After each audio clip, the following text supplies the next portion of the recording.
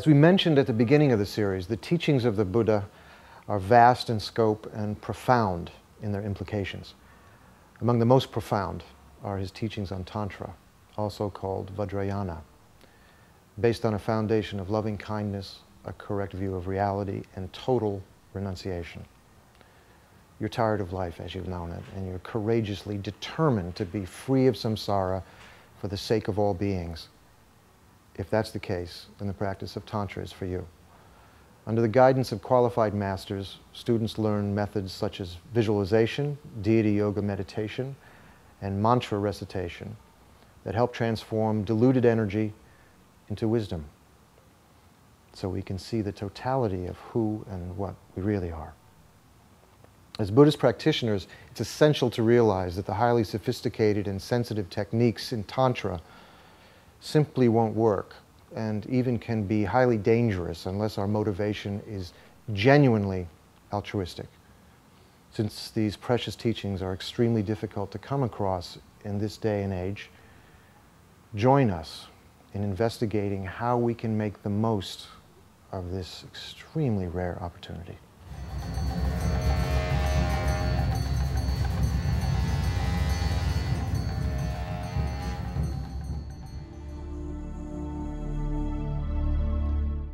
This presentation, you're going to hear about the Buddha's most esoteric teachings, those of Tantra.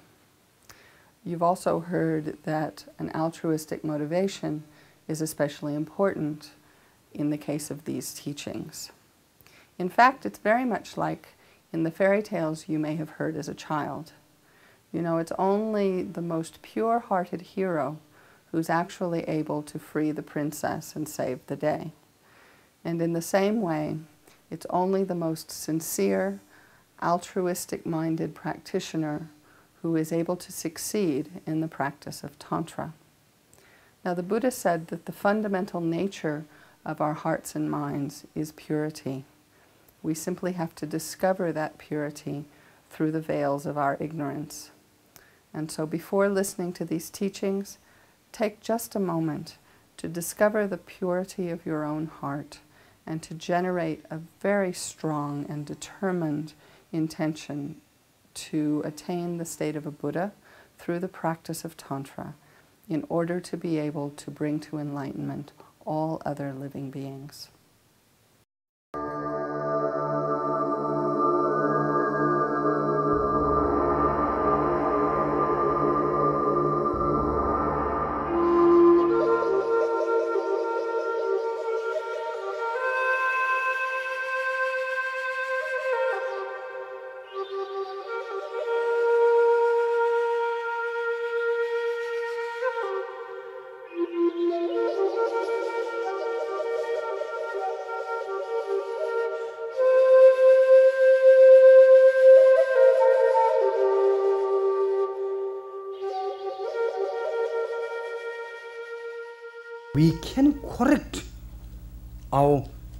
Uh, the attitude.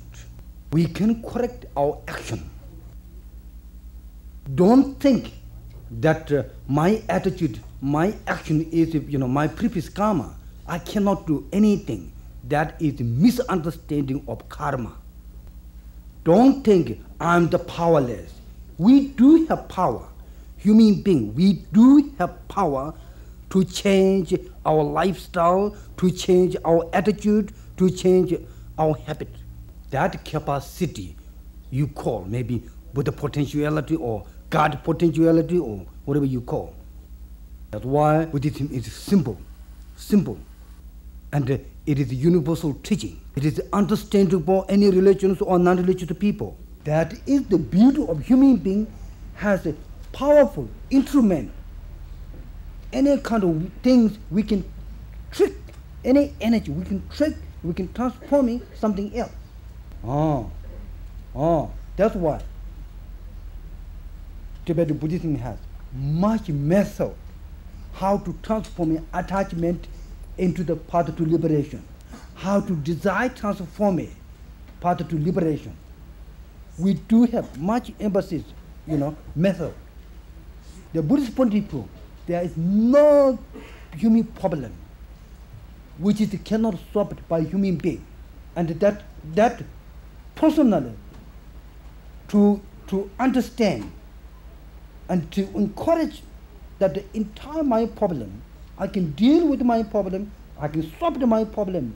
That attitude is, I think, very essential for the growth of oneself. I truly believe that all of us, you know, even though we are not good meditators, you know, we are not maybe good spiritual, you know, but all of us, if we have, you know, some understanding and we have encouragement oneself, we can solve the problem. Most time, we lack of, you know, understanding of our own capacity. We put ourselves down. That's why Tibetan Buddhism, sometimes you see Buddha with you. You see yourself as Buddha. I'm sure you, all of you heard that kind of thing.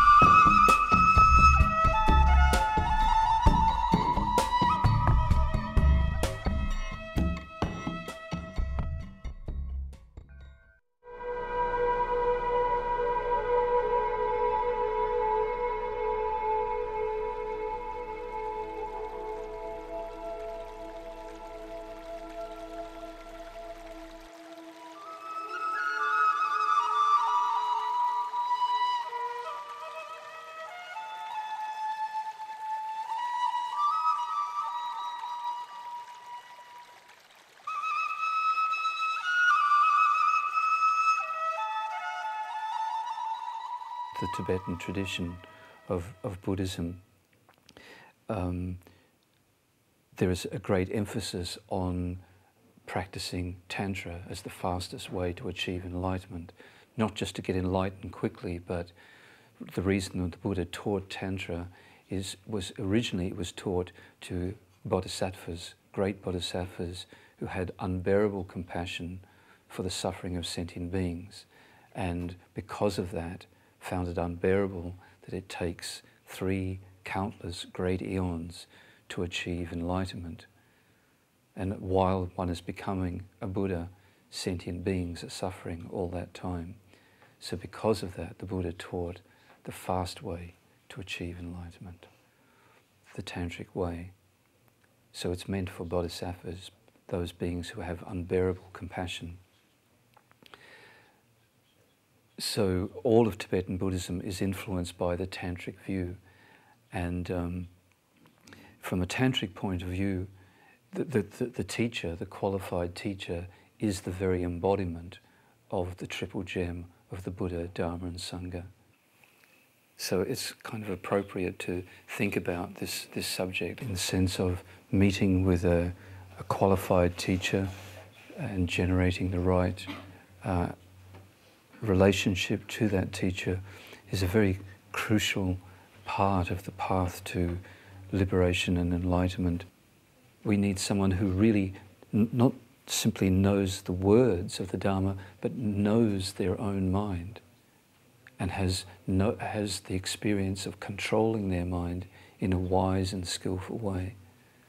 And not just a little bit, but the more we want to accomplish, the more qualified the teacher we need. If we want to accomplish a little bit, a bit with our mind, we only need a teacher who has a little bit of accomplishment. But if we want to achieve enlightenment, we need someone very, very highly qualified. A Buddha, maybe. For someone who is teaching uh, the, uh, the path to enlightenment through Tantra, then there is a whole set of um, other qualities that the guru needs. So, when in devoting us, in, in deciding to follow a particular teacher, we should take time to check the qualities of the teacher, try to see if they have these qualities. Uh, a, a, real guru is something like an iceberg. An iceberg, uh, uh only one tenth of the ice of an iceberg appears above the water nine tenths is below the water. So a guru is like that. When we see great beings, we can see many qualities. Even at our level, we can see qualities. What we should try to understand is that that's just a little hint of the actual qualities of a truly realized being.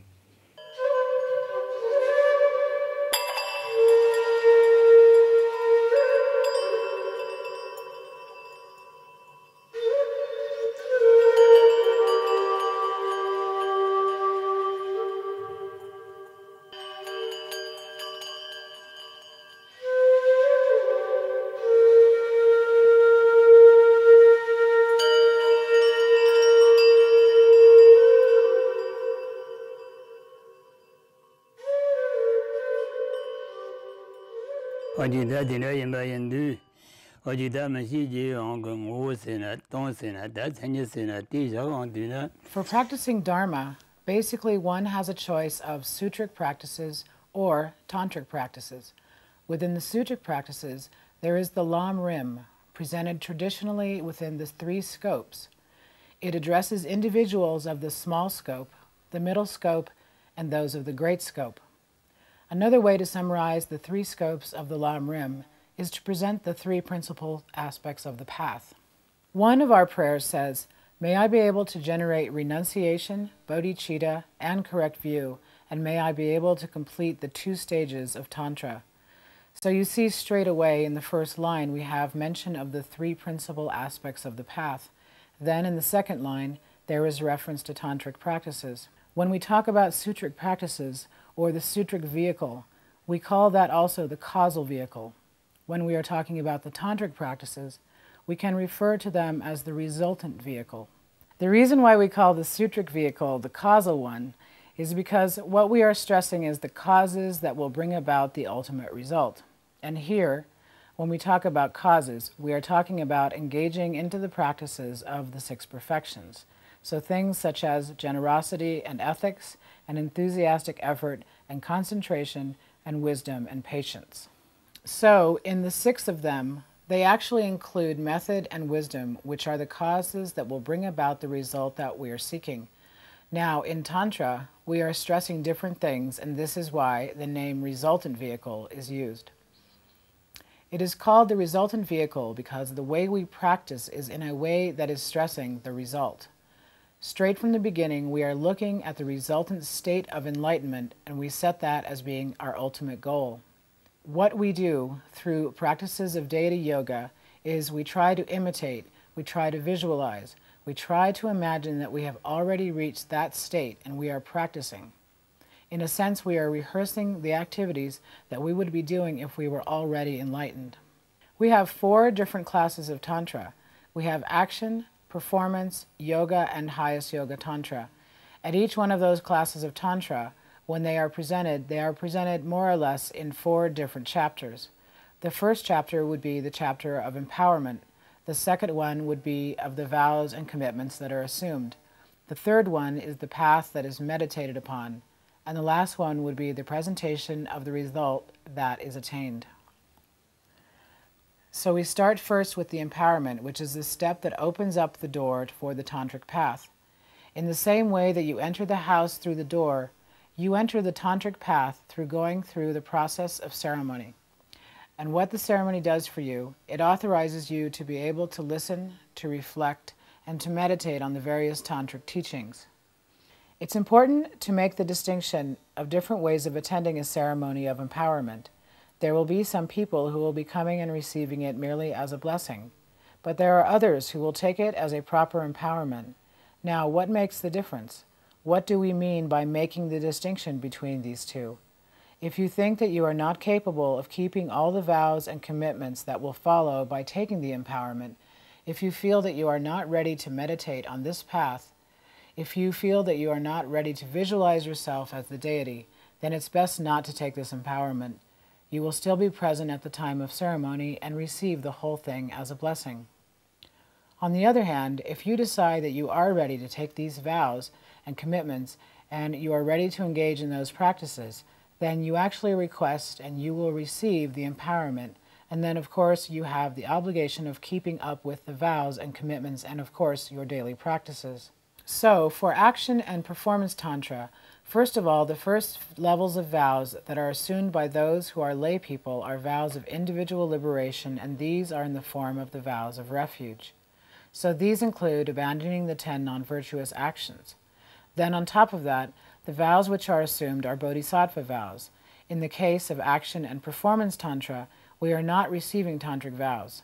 In the case of yoga and highest yoga tantra, on top of refuge and on top of bodhisattva vows, we also assume the tantric vows. Together with the tantric vows, we assume the commitment of engaging in six session guru yoga. Now, as the name indicates, there are six sessions of that. It's a practice that is repeated six times during the day, every day. If one is practicing lower tantras, one would have to engage in two distinct stages which are called yoga with signs and yoga without signs. Within the frame of the practices with signs, what we are doing is we are generating ourselves as the deity, visualizing the deity with all its aspects. Then at the next phase, when we are practicing yoga without signs, we are meditating on the emptiness of all these appearances. What happens with the highest Yoga Tantra is that we are engaging in practices of generation stage and practices of completion stage. Again, there are two distinct phases, more or less similar practices, but they are given different names. At the stage of generation, again, we are visualizing ourselves as the deity, but at the stage of completion, we are focusing on practices that will be bringing about the purification of the channels, the winds, and the drops. The reason why we do that is because we want to render the three things serviceable. We want to bring about a certain degree of purification and flexibility with the winds and the drops that move within our channels. And the reason for that is that in that way we can actually bring about a general purification of all other aspects of our body, not only improving the health, but also getting closer to this model of perfect existence of the Buddha that we have as a goal. So what we are trying to do in the practice of completion stage is to purify the channels and the winds that flow through them. If we can render those things serviceable, then what we will do is actually, ideally, purify the winds that move through the channels. And if you can change the movement of the winds, that means that you can also change the type of mind that is riding those winds. This is what we are referring to when we use the term completion. We are referring to complete purification and complete serviceability of the winds and the channels.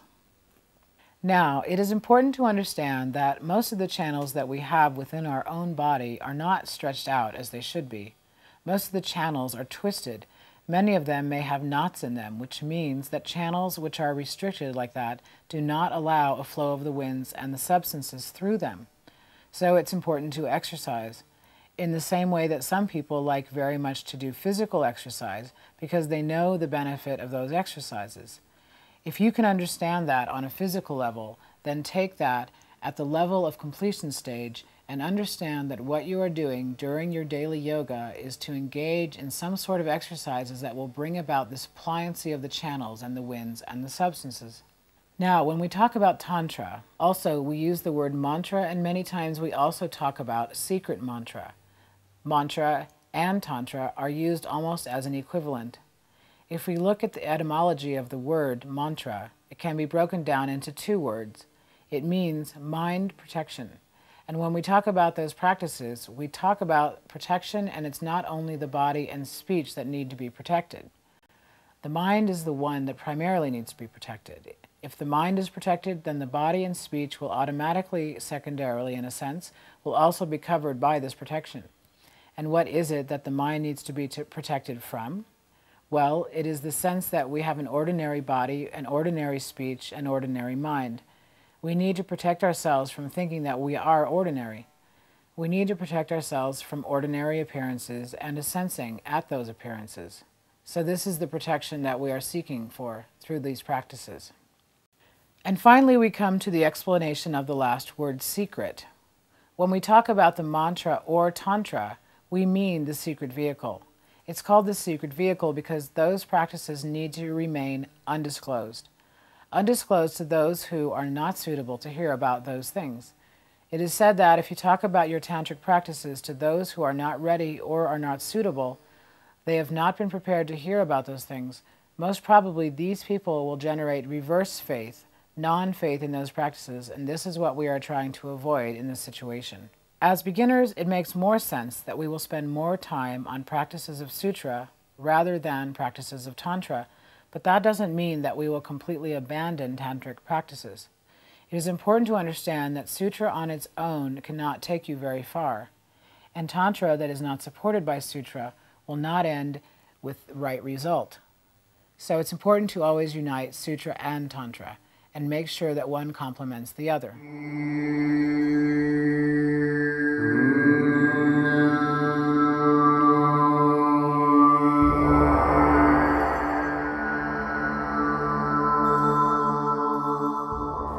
Tantra is often uh, presented as something that's afterwards. It's something that's more advanced. In other words, first we study the, uh, the sutra path, what the Tibetans would call the lam rim, the graded stages of the path, and um, develop uh, certain basic fundamentals, such as um, what Lama Tsongkhapa called the uh, three principal aspects of the path the um, renunciation, the, the, the, wish and the determination to break free from uh, suffering and limitation, and then um, uh, the view of emptiness, understanding the true nature of reality, and bodhicitta, developing the warm heart, the dedicated heart, striving for enlightenment to benefit others.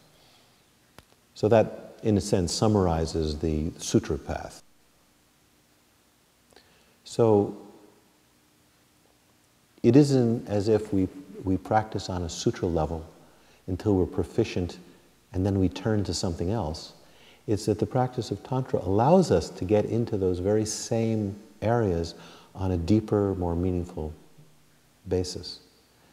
And so, um, for me, uh, Lama Yeshe's introduction to, to Tantra um, it really comes alive for me in a really meaningful way, not so much when it's talking about Tantra itself, but rather uh, the three principal aspects that give it birth, that give it meaning. Um, many years ago, um, in the middle of the 70s, so quite a long time before I was working on this book, I did a retreat on Vajrasattva. That's the purification practice which is considered very um, important preliminary and an aspect of, of, of tantric practice. When it was over, and I had to think back as to what the retreat really was about, it really was about um, renunciation.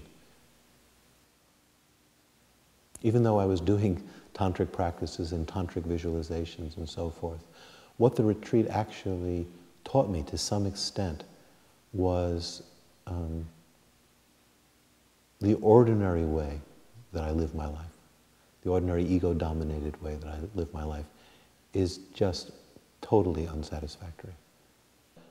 Uh, even when things look beautiful, uh, look pleasant, they may just be it might just, just be a disguised form of dissatisfaction and suffering. I don't think the reality of that would have hit me if, at the same time, I wasn't doing other practices which were attempting to kind of purify my vision, concentrate my attention, um, remove some major obstacles so that I, I could understand things on a deeper level. So later, when, when I was working on Lama Yeshe's teachings on Introduction to Tantra, where he, where he, he discusses this to some extent, you know, that Tantra helps you actually understand the sutra topics better. I, I, really, I really felt I understood what, what he meant, what he was pointing at.